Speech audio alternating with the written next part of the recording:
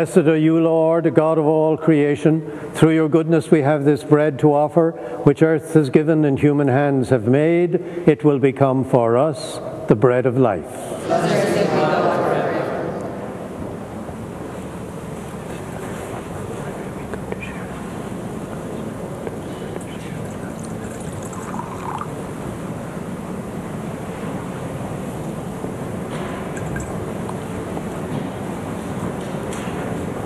Blessed are you, Lord, God of all creation.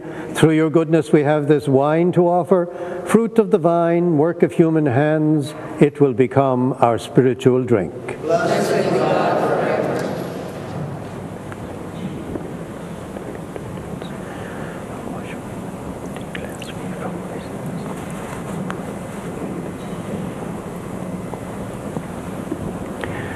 Let us pray that our offering of Eucharist may be acceptable to God, our Almighty Father.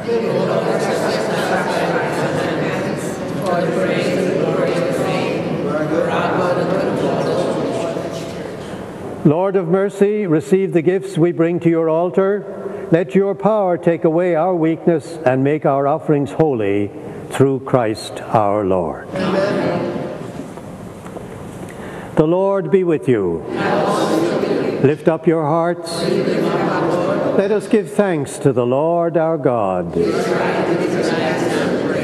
Father, all powerful and ever living God, we do well always and everywhere to give you thanks through Jesus Christ our Lord. His future coming was proclaimed by all the prophets.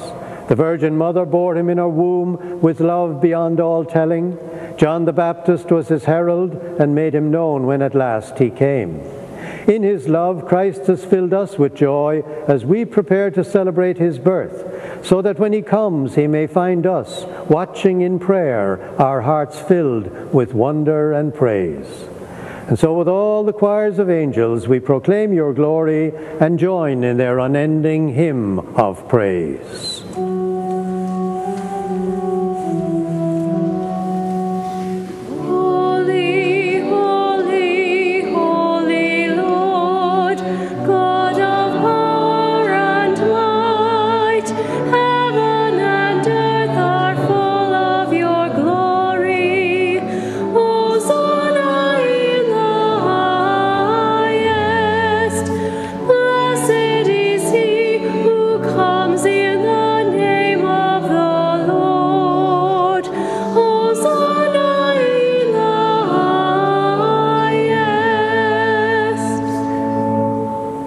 Lord, you are holy indeed, the fountain of all holiness.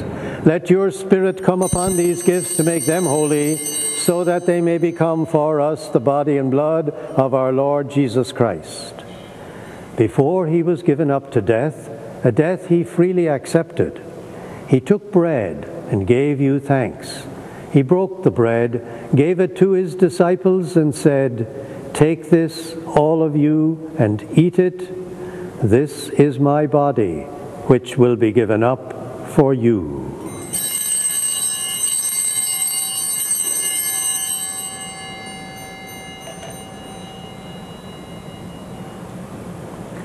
When supper was ended, he took the cup. Again he gave you thanks and praise, gave the cup to his disciples, and said, Take this, all of you, and drink from it. This is the cup of my blood the blood of the new and everlasting covenant. It will be shed for you and for all so that sins may be forgiven.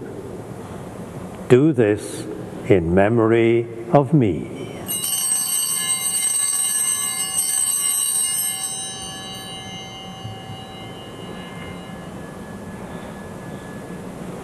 Let us proclaim this mystery of faith.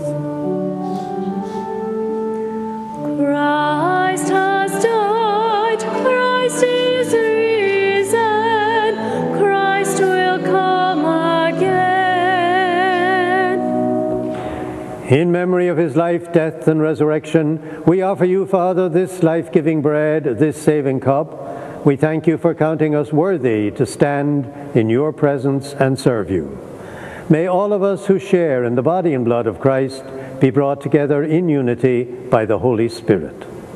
Lord, remember your church throughout the world. Make us grow in love, together with Benedict our Pope and all our bishops.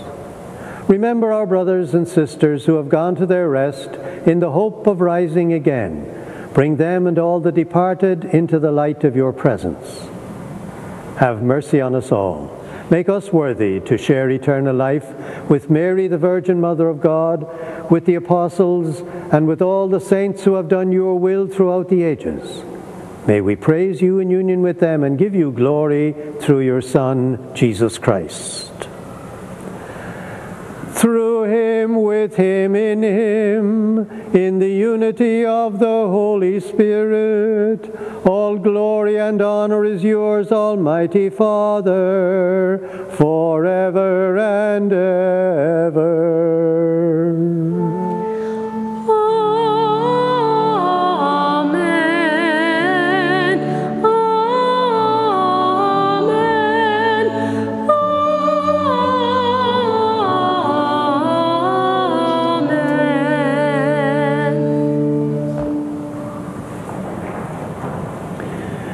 And now let us pray together as Jesus taught his disciples to pray.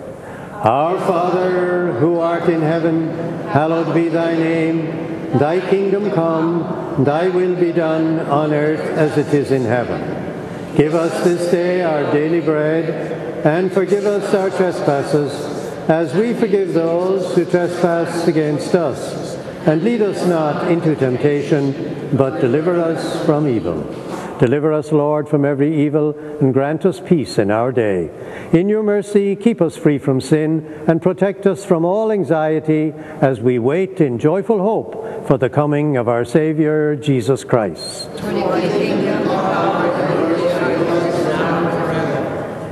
Lord Jesus Christ, you said to your apostles, I leave you peace, my peace I give you. Look not on our sins, but on the faith of your church. And grant us the peace and unity of your kingdom, where you live forever and ever. May the peace of the Lord be with you always. Let us offer one another a sign of that peace.